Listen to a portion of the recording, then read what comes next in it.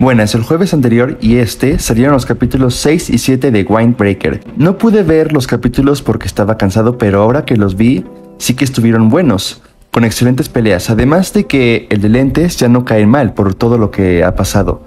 Los capítulos comienzan después de que Majima vence a su oponente, así que Sakura ya quería pelear, pero mejor pelearía Hiragi contra Sako.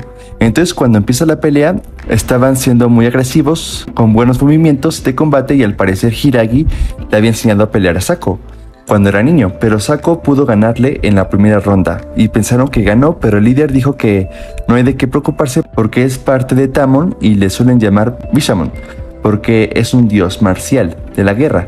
Así que Hiragi se levanta y le empieza a golpear de nuevo y se nos cuenta que Sako era muy listo y por eso le hacían bullying, pero Hiragi lo defendió y le enseñó a defenderse. Y cuando iba a ir a Furin, Sako quería que él llegara a la cima, pero Hiragi dijo que solo iba a seguir a alguien y que mejor siguiera a alguien más.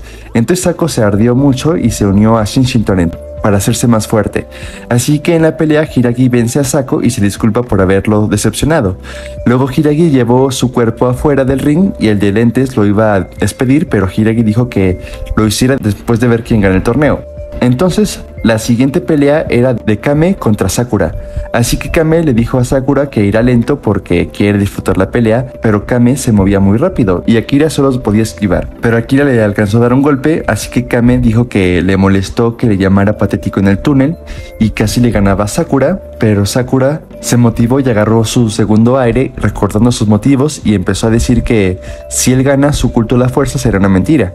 Así que Kame le empezó a aplastar la cabeza, pero cuando Sakura mencionó que golpeaban morros de secundaria, Kame se enojó y golpeó a sus aliados porque se dio cuenta de que la culpa de todo la tenían ellos, y después volvió al ring para pelear contra Sakura.